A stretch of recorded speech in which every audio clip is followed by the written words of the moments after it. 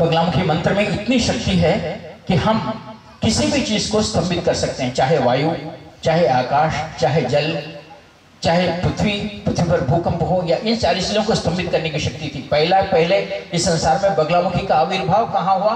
ये संसार कहता है कि नारायण सरोवर हरिद्रा सरोवर पास, ये इस बगलामुखी हुआ था, जब पृथ्वी को प्रलय होते हुए सारे जल पृथ्वी पर आ रहे थे तो उस समय ये पृथ्वी पर जला रहा था तो तब भगवान नारायण ने उसको स्तंभित करने के लिए, उसको रोकने के लिए पहली बार गुजरात में नारायण सरोवर है। आपने कभी देखा होगा या नहीं होगा?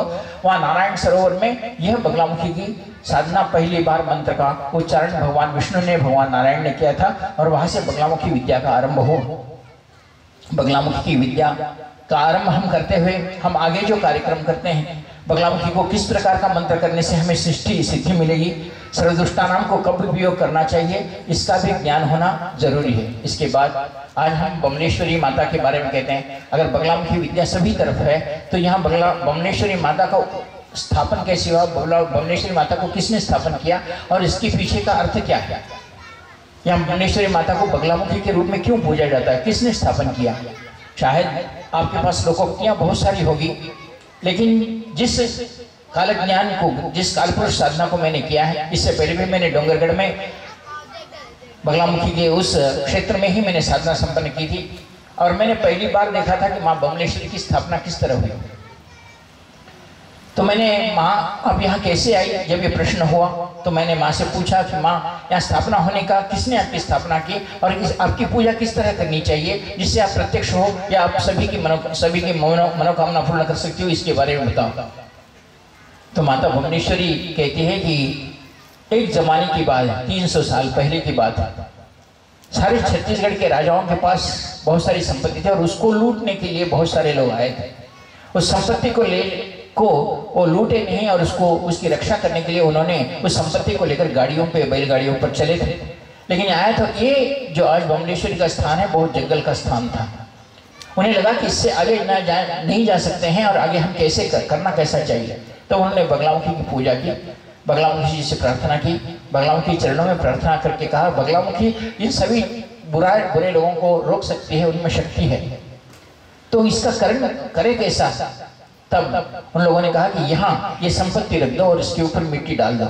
और रात में तुम्हारी गाड़ियाँ खाली कर दो ज़ोर ज़ोर से पुकारो कि यहाँ यहाँ का धन लूट लिया गया, लूट लिया गया। ज़ोर से बमलेश्वरी का मतलब है, बम कहना या बम मारना बोलते हैं हम जैसा। वैसे ज़ोर ज़ोर से पुकारने लगे कि यहाँ का धन लूट लिया गया और इसको छुपा दिया गया। और बाद में उन्होंने स्तंभन विद्या की स्थापना की और बगलामुखी की स्थापना करके कहा कि माँ, यहाँ रक्षा करो। कहते हैं कि माँ बमलेश्वरी की रक्षा उसे बमलेश्वरी इसलिए कहा गया कि वहाँ ये बात कहते हुए कि यहाँ सबसे लूट लिया गया है। ऐसा कहते हुए उसकी, उस धन को छुपाकर स्तंभन विद्या से स्तंभित कर दिया गया था। और उस स्तंभित करने के बाद माता भुवनेश्वरी को किस तरह आराधना करने से माता प्रसन्न होती है और इसका क्या है तो इसके ऊपर स्वर्ण का यंत्र रखते हुए रखते हुए माँ बगलामुखी की स्थापना कर दी गई थी। और हम उस बगलामुखी के चरणों में नमस्कार करते हुए ये कहते हैं कि उस यंत्र की स्थापना या उस यंत्र की पूजा किस तरह करनी चाहिए? हमने प्रार्थना की। हमने माँ बमलेश्वरी के चरणों में यह प्रार्थना की कि माँ, हमारी रक्षा करो। तब लगा कि यहाँ वांछा कल्पलता नाम की मंदार विद्या यहाँ दी गई है, जो माँ बगलामुखी की आराधना उस विधान से करता है। माँ बगलामुखी उसकी इच्छा पूर्ण करती है, उसको ऐश्वर्य प्रदान करती है, उसको इच्छा देती है। बगलामुखी केवल स्तंभन विद्या ही कहा गया है। स्तंभन विद्या का मतलब स्तंभित कर देना, रोक देना, किसी भी चीज़ को रोकना, इसको स्तंभित, स्तंभन विद्या कहा गया है। ये स्तंभन विद्या से फिर हमें पैसे कैसे प्राप्त होते हैं? लेकिन बगलामुखी का एक और भी विधान है जिससे भक्त मंदार विद्या कहा गया है, वांछा कल्पलता विद्या कहा गया तुम जो भी इच्छा करोगे, उसको पूर्ण करने वाली, उसके पास जो भी है, वो देने की क्रिया को भक्त मंदार विद्या या वांछा कल्पलता विद्या कहा गया है।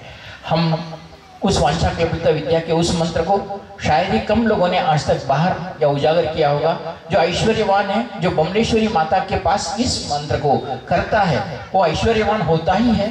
वो निश्चित रूप से वो अपने पास उन सारी, अपने जीवन की जो दरिद्रता है, अपने जीवन की दरिद्रता को या अपने ऊपर तंत्र करके किसी ने अपने को बाँध दिया है, रोक दिया है, अपने व्यापार को, अपने कार्य को तो उस स्तंभन विद्या का, को उस रोकने को रोक देकर माँ उसके तंत्र को निवारण करती है, उसके व्यापार का बंधन खोल देती है और उसे श्रेष्ठ रूप से उसकी मनोकामना पूर्ण करती है, उसे वांछा कल्पलता विद्या कहा गया है। अभी आपको इस विद्या की अपने कितने भी उदाहरण दे, बहुत कम है। कभी कभी मैं हमारे साधकों से समझाता आपने देखा होगा कि महाभारत में भगवान श्री कृष्ण ने अर्जुन को गीता का उपदेश किया। आप सब लोग ये तो जानते हैं कि गीता का उपदेश किया। गीता का उपदेश करते समय हुआ ये कि जब जब महाभारत में चार अक्षणी सैन्य कौरवों का सैन्य एक तरफ़ खड़ा था, एक तरफ़ पांडवों का सैन्य खड़ा था और कृष्ण और अर्जुन आए। अर्जुन ने कहा कि मैं देखना चाहता हूँ कि युद्ध में कौन कौन है। कृष्ण ने मध्य ले ले जाकर अपने रथ को खड़ा किया। अर्जुन देखता क्या है? द्रोणाचार्य गुरु है, भीष्म पितामह है कौरव सब भाई है भारी सब बंधु है। और अर्जुन को एक ही समय में ऐसा निराश नैराश आ गया, वो इतना थक गया, इतना कहने लगा कि हे भगवान कृष्ण, इन सभी को मारकर अगर मैं युद्ध जीतूँगा भी तो मुझे ऐसा राज्य नहीं चाहिए। जो अपने आप को मारता है, अपने गुरु को मारता है, अपने पितामह को मारता है, अपने लोगों को मारता है तो ऐसा युद्ध जीत कर मैं इस इस राज्य को लेकर क्या करूँगा? मुझे नहीं चाहिए, मैं युद्ध नहीं करूँगा। कृष्ण हतप्रभ हो गए। कृष्ण तो रथ के साथी थे, आपको पता है? कृष्ण कहा, ये अर्जुन, इस समय में युद्ध के समय तो ये बातें क्या कर रहा है? तब कृष्ण ने कहा कि अर्जुन को ऐसा क्यों, क्या हो गया? कृष्ण अपने काल ज्ञान से एकदम देखे और उन्होंने देखा कि ये क्या हुआ। कृष्ण को बात समझ में आई। कृष्ण को लगा कि कौरवों में शकुनी मामा जो था, उसके सामने सभी लोगों ने एक ही बात कही थी। अगर आप एक अर्जुन को रोक लेते हैं तो हम पांडवों को जीत जा सकते हैं। अर्जुन के बाणों को अगर अर्जुन को रोक लेते हैं तो हम अर्जुन को अगर रोक लेते हैं तो एक काम हम पांडवों को जीत सकते हैं।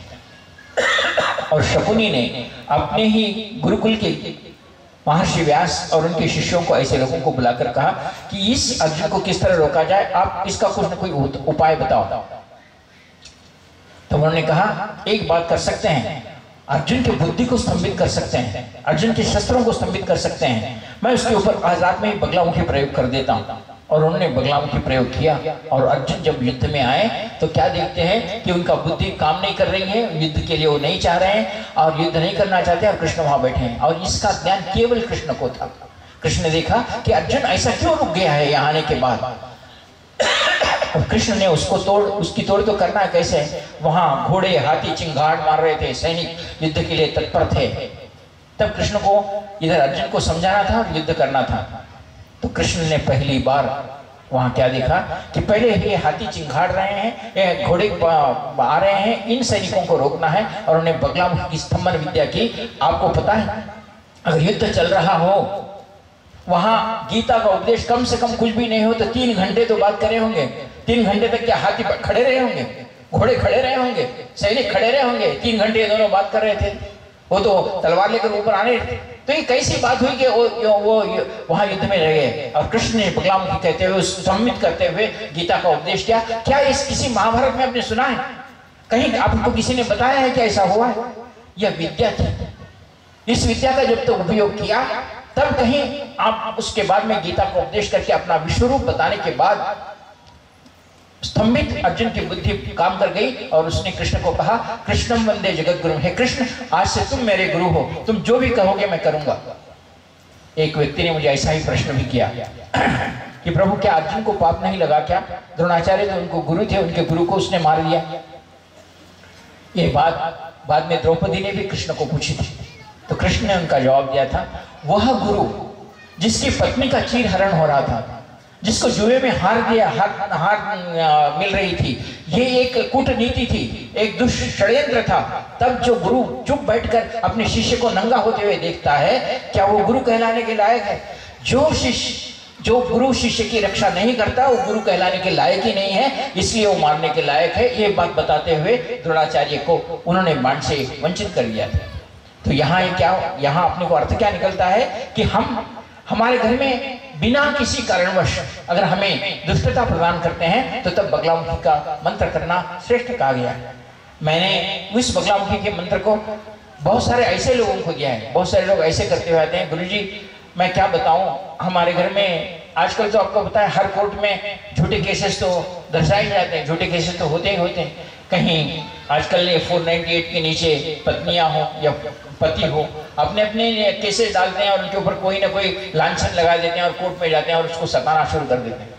मैंने देखा है, अगर वो झूठा केस है और बगला मुखी का मंत्र वो करता है तो मैंने देखा है अगला वाला उसके मुँह से बात भी नहीं निकली और ये लोग जीत गए हैं। अगर ये दुष्टता है तो बगलामुखी का यंत्र है बगलामुखी का मंत्र है और ये होगा ही होगा।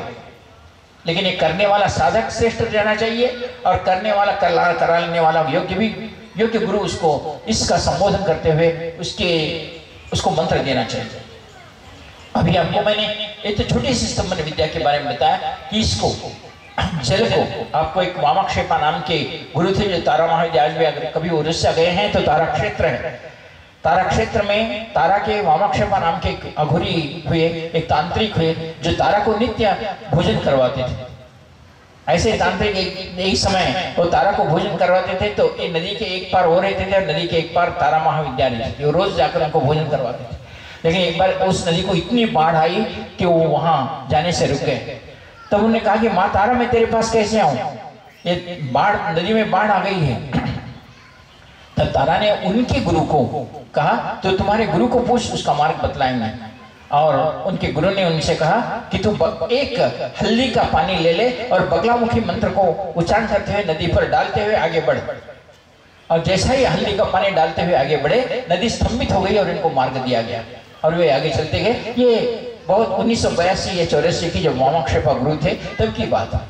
तो आज भी विद्याएँ हैं, आज भी साधनाएँ हैं। लेकिन हम साधना को एक योग्य गुरु से योग्य मंत्र लेते हुए अगर साधना करते हैं तो हमारी इच्छाएँ पूर्ण होती है। हमारे को मंत्र देने वाला, उसका साध, उसकी साधना किए वाला गुरु चाहिए। वो साधना को सिद्ध करने वाला गुरु चाहिए। यूँ ही अगर मैं बहुत बार बोलता हूँ, मैं टेंथ क्लास पास नहीं हूँ, अगर इंटरमीडिएट वाले को या बारहवीं कक्षा वाले को, दसवीं पास नहीं हूँ और बारहवीं कक्षा वाले को पढ़ाता हूँ तो मेरी पढ़ाई चलेगी? मेरी पढ़ाई को कोई उसका ज्ञान होगा? पहले तू सिद्ध जब तक नहीं होता, तू बारहवीं पास नहीं करता, तब तक तो अगर बारहवीं को भी सिखाता है, दसवीं को सिखाता है तो सिखाने में कोई मतलब है? लेकिन तू ही दसवीं पास नहीं है और बारहवीं को सिखाता है तो वो ज्ञान कहाँ से प्राप्त होगा? उसी तरह तू जब तक सिद्ध नहीं है, तब तक आगे वाले को तू कह नहीं सकता। तू पहले सिद्ध होके बता। तो एक जगह साधना करके बता कि तूने साधना की है और इससे सिद्धि प्राप्त हुई। बहुत सारे लोग आज भी कहते हैं कि शक्तिपात दीक्षा द्वारा। शक्तिपात का अर्थ क्या है? अर्थ यह है कि तुम्हें साधना करने के लिए शक्ति प्रदान करने वाले को शक्तिपात कहा गया शक्ति का पात करना, शक्ति देना, तुम्हें साधना करने के लिए। शक्तिपात का अर्थ ये नहीं, सिद्धिपात है। सिद्धिपात का मतलब मैं मैं सिद्धि दे दे रहा हूँ। अगर ऐसा होता तो मंत्र विज्ञान की पत्रिकाएँ किस लिए होती? ऐसे होती इतनी पुस्तकें क्यों होती? अगर शक्तिपात से सब मिलता तो जब और साधना कोई करने की ज़रूरत नहीं। डायरेक्ट शक्तिपात ले लो, तुम्हारा काम बना, काम खत्म। क्यों पत्रिकाएँ आती है? क्यों पुस्तकें आती है? क्यों साधना करने के लिए बताया जाता है? बिना साधना के काम नहीं होता। खाना जब तक पकता नहीं, तब तक खाना खाएँगे नहीं। बिना खाना खाए ऐसा कोई नहीं कि मैं तुम्हें शक्तिपात दीक्षा और शक्ति आई बिना खाए आप रह सकते हो। मैं शक्तिपात देता हूँ, आप खाना मत खाओ, आपको शक्ति मिल जाएगी। ऐसा हो सकता है, किसी ने कहा है आपको? खाना तुम्हें खाना ही पड़ता है। तब कहीं तुम्हारे शरीर में शक्ति आती है। तो इस शक्ति को प्राप्त करने के लिए शक्तिपात का अर्थ अलग है कि तुम्हें साधना करने के लिए शक्ति प्रदान करे, उसी शक्तिपात कहा गया वो सिद्धिपात नहीं कहलाता। हम ऐसी शक्ति प्राप्त करें, साधना संपूर्ण अपने जीवन में साधनाएँ करें। साधना को संपन्न करने के बाद हम शक्तिपात को लें और हमें उसका असर देखने को मिलता है। अगर ये नहीं होता है तो हम जीवन में कुछ प्राप्त नहीं कर सकते। हम जिस मार्ग पर चल रहे हैं, आपको मेरे बातों में कटुता लगती होगी। मैं कड़वी बात कर रहा हूँ, ये भी आपको लगता होगा। लेकिन आप स्वयं आपके मन को, आपके हृदय पर हाथ रखकर कहो कि आप कहाँ तक सिद्ध है। क्या सिद्धि नहीं चाहिए? क्या गुरु ने अपने दस महाविद्याओं की सिद्धियों के बारे में नहीं लिखा है? तो ये बात नहीं कही है कि तीन महाविद्या सिद्ध होने के बाद सिद्धाश्रम को जाना चाहता है। क्यों गुरु ने सिद्धाश्रम जाने की बात कही? क्यों सिद्धाश्रम के बाद तीन महाविद्याओं की सिद्धि करने की बात कही? और हमें कभी कभी ऐसा करके कहा जाता है कि तेरे को योग्य गुरु मिले और क्या चाहिए? और क्या चाहिए? योग्य गुरु मिले, हम इसके बात मानते हैं। क्या हमने उस योग्य गुरु को प्रसन्न किया है? और वो योग्य गुरु किस तरह प्रसन्न होता है? वो योग्य गुरु प्रसन्न होता है, तुम तो दश महाविद्याओं को सिद्ध कर, तू साधना कर, तू गुरु मंत्र जप कर, तब प्रसन्न होता है। और तब प्रसन्न होता है तो सारी कार्य, सारे कार्य होते हैं। क्या ऐसा हुआ है? बिना साधना के, जिसको गुरु मंत्र की माला भी फेरने नहीं आती और उसको शक्तिपात देते हैं तो क्या उसे तो हुआ? उसके पास साधनाएँ हैं? उसने कुछ बताया कि संसार में सिद्धियाँ ऐसा कुछ बताया? मैं आज बाईस साल से बैठा हूँ। मेरे बाप कोई करोड़पति नहीं थे, न मेरे सास ससुर करोड़पति थे। केवल और केवल साधनाओं के बल पर आज जो मैं आश्रम चला रहा हूँ, वो साधना आप किसी के पास जाकर पूछ सकते हैं कि मैंने कोई रसीद काटी है क्या? निखिल चेतना के अंदर बांधते समय कि तुम्हारे पास से दस लाख बस बारह लाख लिया हूँ आप पूछ सकते हैं। केवल और केवल साधनाओं के बल पर यह आश्रम चल रहा है और आश्रम चलते हुए आगे बढ़ रहा हूँ। किसी का काम होता है तो शिष्य है, वो अपनी दृष्टि से ही देगा कि प्रभु, आपके पास आए ये साधना, किया मेरा कार्य संपन्न हुआ? ये देखो, मैं आपको ये दे रहा हूँ। लेकिन मैं किसी को उंगली उठाकर या उसका गला पकड़कर मैंने पैसे कभी नहीं मांगा। ये चाहिए चाहिए, ऐसा नहीं कहा। मेरे से जितना प्रयत्न होता है, मैं उतना प्रयत्न करके उसकी साधनाओं के मार्ग को सुगम करता हूँ और साधनाओं के मार्ग से सिद्धि मिलती है। यह मेरा कथन है और मैं इस मार्ग पर चलकर आगे बढ़ा आज आपने एक दृष्टिकोण में एक बार देखा हुआ शंकराचार्य आदि शंकराचार्य जो केवल 12 साल के बालक थे, भिक्षा मांगने गए तो एक बार जंगल में चलते चलते उन्होंने देखा कि भिक्षा मांगने के लिए एक छोटी सी झोपड़ी दिखी। उनको भूख लग रही थी। उस झोपड़ी के पास गए और उन्होंने सन्यासी को कहता है कि केवल पाँच घर की भिक्षा मांगे, वो पाँच घर में भिक्षा मिले तो खाएँ, नहीं तो वैसा ही उस दिन, वो दिन उपवास के साथ ही रहे। और वो जहाँ भी ढूंढते उस जंगल में वो जा रहे, चलते जा रहे थे तो उनको केवल एक ही झोपड़ी दिखी। जब उस झोपड़ी के पास गए और उन्होंने अलख लगाई कि ओम भवती भिक्षाम दी। एक बार बोले, दूसरी बार बोले और तीसरी बार एक फटी हुई साड़ी में एक स्त्री अंदर से बाहर आई और उसने कहा हे प्रभु आप कौन भी है? आप तो सन्यासी दिख रहे हैं अतिथि है। ये मैं बात जानती हूँ। मेरे पति जंगल में लकड़ियाँ काटने के लिए गए हैं और बा, बाहर जाकर लाने के लिए गए हैं। और हम हमारे पास अगर वृक्ष से फल गिरता है तो उसे देते वृक्ष से फल भी नहीं तोड़ते। ये मेरे पति की आज्ञा है। कोई दिया तो खाते हैं नहीं तो हम उपवास में उपवास ही रहते हैं। मेरे पति कल गए थे तो कल गुलर के दो फल नीचे पड़े थे। वो दो फल लेके आए। और उन फलों में से एक फल उनका उन्होंने खाने के बाद मैं खाती हूँ, दूसरा फल। ऐसे दो ही फल मेरे पास है। मैं इसके सिवा कुछ नहीं जानती। ऐसा जीवन जीते हैं हम। तो प्रभु, मेरे पति को देने वाला फल तो मैं निकाल के रखती हूँ। एक फल है मैं आपके भिक्षा के पात्र में मैं डाल देती हूँ। शंकराचार्य के आँखों में आँसू है शंकराचार्य के आँखों में आँसू है वो कहने लगे, प्रभु, आपने भी मुझे किस घर पे भेजा?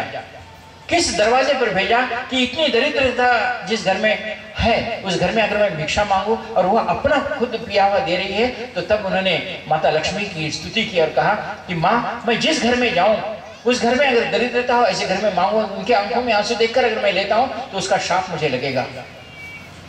मैं चाहता हूँ कि लक्ष्मी माँ, तू इस घर को धन धान्य से भर दे। और उन्होंने कनकधारा स्तोत्र का और कनकधारा यंत्र के बारे में आज आप सब लोग सुनते हैं। कनकधारा स्तोत्र की स्तुति की और उस घर में उस गुलर के फूलों के फलों का वर्षा हुई और वे धनवान बन गए। उसने देखा कि पहाड़ लगा गया है। उसे गुरु कहते हैं और उसे शिष्य कहते हैं। जो अपने शिष्य को सब दे और शिष्य से मांगे, उसे गुरु कहा गया है। शिष्य से छीन ले, ये गुरु नहीं कहलाया जाता। ये गुरु नहीं है। शिष्य को हम दे सके, उसे गुरु कहा गया शिष्य से अगर लेकर शिष्य के नाम पर जीता है तो गुरु कहलाने के लायक नहीं। ये मैं समझता हूँ और मैंने शास्त्र को ऐसे ही पढ़ा है। चाहे शिरडी के साई बाबा लो चाहे रामकृष्ण परमहंस रामकृष्ण परमहंस आज गुरु कहलाए। आपको पता है, एक बार उनका मामा था, उनका मामा का बेटा था, भांजा उनके साथ रहा करता था। वो कभी रामकृष्ण परमहंस को खोजता था। कि तुम एक पैसा भी नहीं लेते। वो कहते, कालिका माता के पास नैवेद्य था वही नैवेद्य खा के रहते थे। पैसा क्यों नहीं लेते बोले, पैसा मेरे पास मतलब पैसा आए तो मुझे मौत मेरे शरीर को कांटे आते हैं, ऐसा पैसा मुझे नहीं चाहिए। और जब एक दिन परीक्षा देखने के लिए बार बार पैसों की बात कहते हैं, एक ने उनके गादी के नीचे जहाँ वो बैठते थे, उसके नीचे थोड़े कॉइन्स रख दिए, पैसे रख दिए। जब रामकृष्ण परमहंस आकर वहाँ काइन पर बैठे तो एकदम उछले और कहा कि यहाँ कुछ नई चीज़ रखने वाली चीज़ रखी हुई है, तुम उसे पहले निकाल दो। सबने देखा, क्या रखा हुआ है? तो उसके नीचे थोड़े से अपने काइंस रखे हुए थे, पैसों के उन्होंने देखा कि इसे पहले निकाल दो, मैं नहीं चाहता। ऐसे हुए, तभी आज उनके साथ अष्टमा से क्या है? आज ऐसा कोई जिला या ऐसा कोई राष्ट्र भारत में नहीं है, जहाँ रामकृष्ण मठ नहीं है। आज उनके पास अष्टाई काम करता है। उनके लिए पूछना नहीं पड़ा। आज एक एक उनकी संगमरमर के मंदिर, मठ, रामकृष्ण मठ, हर एक स्टेट में आपको मिलेंगे। यही नहीं तो बाहर विदेशों में मिलेंगे। ऐसे थे रामकृष्ण और ऐसे थे उनके शिष्य विवेकानंद। जब विवेकानंद को भी पूछा गया तो विवेकानंद को भी उन्होंने कहा कि जो गुरु शिष्य को दे सकता है। कभी गुरुजी ने भी मुझे एक बार ऐसे प्रवचन में आप अगर सुनते हो तो गुरुजी ने कहा था, रामकृष्ण परमहंस, विवेकानंद अकेले के गुरु थे, या उनके पास और दो चार शिष्य थे, गुरु थे। गुरु बनना बहुत कठिन है, वो परमहंस थे। उनमें दूध और दूध और पानी और पानी करने की शक्ति थी। गुरु बनना शिष्य को तृप्त करने के बराबर शिष्य जब तक तृप्त नहीं होता, शिष्य को आखिरी दम तक उसको, उसकी चाह पूर्ण नहीं करता तो गुरु कहलाने के लिए लायक नहीं है। क्या आजकल ये हो रहा है? आप अच्छी तरह जानते हैं कि हम कहाँ रुके हुए हैं? हमें क्या चाहिए? अगर भौतिकता ही हमें चाहिए भौतिकता ही चाहिए तो हम गुरु बदलते रहते हैं। एक गुरु गया, दूसरा आया, दूसरा गया, तीसरा आया तीसरा आया, चौथा गया। जिसके पास काम हुआ, वो हमारा गुरु, जिसके पास काम नहीं हुआ, गुरु नहीं। क्या ये विधान है? जैसे पत्नी अपने पति को छोड़ के जा रही है। ये पति अच्छा नहीं है, कमाता नहीं, मारता है, इसको छोड़े दूसरे जाए। क्यों हमारे पूर्व जीवन में या पूर्व काल में ये कहा जाता था कि सतीत्व था, गुरु शिष्य का संबंध था, और आज वो शिष्य संबंध क्यों नहीं है? हम इसे कैसे प्राप्त करें और कैसे उस शिष्य संबंध को जागृत रखे, करें। मेरा यह एक ही चिंतन रहा है कि गुरु देने वाला, गुरुत्व को प्रदान करने वाला और शिष्य का अपने जीवन के अंतिम गुरु जी बार बार बहुत बार अपने कहते हुए सुना होगा शिविरों में, मैं आपको अभी नहीं 25 जन्मों से जानता हूँ 25 जन्मों से आपको पुकारता हूँ, आप हर बार मेरा हाथ छोड़ के जाते हैं, ये गुरु जी के वचन है कहे हुए। जो 25 जन्मों से गुरु जी तुम्हारे लिए जन्म लेकर आता है और तुम्हारे, तुम्हें पुकारता है और वो चला जाता है तो इसका अर्थ क्या है? इसका अर्थ यह है कि गुरु तुम्हारे पीछे खड़े हुए पच्चीस जन्मों से भी तुम्हारी भलाई बुराई देखते हुए तुम्हें ले जा रहे हैं। क्या ऐसे गुरु आज मिलेंगे? आज जिस ज्ञान को परम पुण्य सर गुरुदेव जी, डॉक्टर नारायण सिंह मान जी परम स्वामी निखिलेश्वर ने दिया है, इस संसार में शायद ही अब के गुरुओं में किसी ने ज्ञान दिया कोई ये साधनाएँ बताने वाला नहीं। सभी लोग आओ, मेरे पाँव पड़ो, तुम्हें आशीर्वाद देता हूँ, तुम चले जाओ, ये कहने वाले ही मिलेंगे। लेकिन तुम्हें साधक नहीं बनाएँगे। तुम जंगल में भी रहो तो जी सको, ऐसी साधना तुम्हारे पास चाहिए। तुम जियो और दस लोगों को जीने की कला सिखाओ, ऐसा शिष्य तुम बनना चाहिए। अपने लिए तो कोई कुत्ता भी जी रहा है, पशु भी जी रहा है। आहार निद्रा भय मैथुन पशु भी नराणाम एक ही समाना कहा गया है। आहार वो भी खा रहा है, वो भी कोई मारने आए तो डरता है। पशु अपने इसको जन्म देता है, पशुओं को जन्म देता है, मर जाता है। तुम्हारे और पशु में फ़र्क क्या है? तुम खाते हुए दस लोगों को खिलाने की क्रिया करते हो, उसे देवत्व कहा गया, उसे संतत्व, उसे ऋषि तत्व कहा गया आज हमारे पास ऋषि थे, जिनके पास कामधेनु नाम की गाय रहती थी, जिनके पास कल्पवृक्ष नाम का गाय ये रहता था। राजाएँ उनके पास आकर, जब कष्ट में होते थे तो उनके पास आकर वो उन विद्याओं से उनका, उनके पास ज्ञान लिया करते थे। उन कामधेनु से आपने वशिष्ठ विश्वामित्र के बारे में पढ़ा होगा, जमदग्नि के बारे में पढ़ा होगा। उन कामधेनु के साथ उनकी इच्छाएँ पूर्ण की जाती थी, लेकिन वो राजाओं के पास जाकर खड़े नहीं होते थे। तो ऐसी विद्या जब तक हमें नहीं आई, जब तक ऐसी विद्याओं को हम ज्ञान, हम विद्याओं का ज्ञान नहीं प्राप्त करते, तब तक हमें इस संसार में हम कुछ प्राप्त नहीं कर सकते। आपने सुना होगा कि व्यास महर्षि अपने रामायण, वाल्मीकि महर्षि अपने रामायण लिखते समय लिखते हैं कि जब जब पंचवटी में सीता माता बैठी थी और उसने सोने की हिरण को देखा तो रामचंद्र से कहा, देखो देखो, सोने का हिरण रामचंद्र ने भी देखा और कहा, क्या क्या सीता तुम चाहती हो? तो सीता ने कहा हाँ मैं सोने का हिरण चाहती हूँ। बहुत अच्छा है ना। हम पंचवटी में जब तक रहेंगे, उसको पालेंगे। रामचंद्र जी उस सोने के हिरण को लाने के लिए भागे। उस सोने के हिरण के लिए भागे तो लक्ष्मण उन्हें रोक रहे थे, भैया, ये कोई मायावी चीज़ दिखती है, आप उसके पीछे मत जाओ। तो रामचंद्र जी कहते हैं, मुझे मायावी सिद्ध है। मायावी हिरण क्या करेगी? मैं तो शक्तिवान हूँ। मैं मेरी सीता के लिए हिरण लाने के लिए जाऊँगा और राम भागते गए। और वो हिरण जो मरीज़ था, रावण का भेजा हुआ था मारीच भी वैष्णव था। और उसने, जब रावण ने कहा कि देख मारीच मैं सीता को उठा के नहीं ला सकता। जब तक रामचंद्र जी उसके साथ है। तो रामचंद्र जी को बाजू में ले जा, मैं सीता को उठा के ले जाऊँगा। क्योंकि उसने मेरी बहन सिर्फ़ नखा के आँख कान काटे हैं। मैं उसको ले जाऊँगा। यह बात रावण जब कहता है, और मरीज़ को कहता है कि तू कुछ भी कर माया, लेकिन तू रामचंद्र जी को दूर ले जा, मैं सीता को उठा के ले जाऊँगा।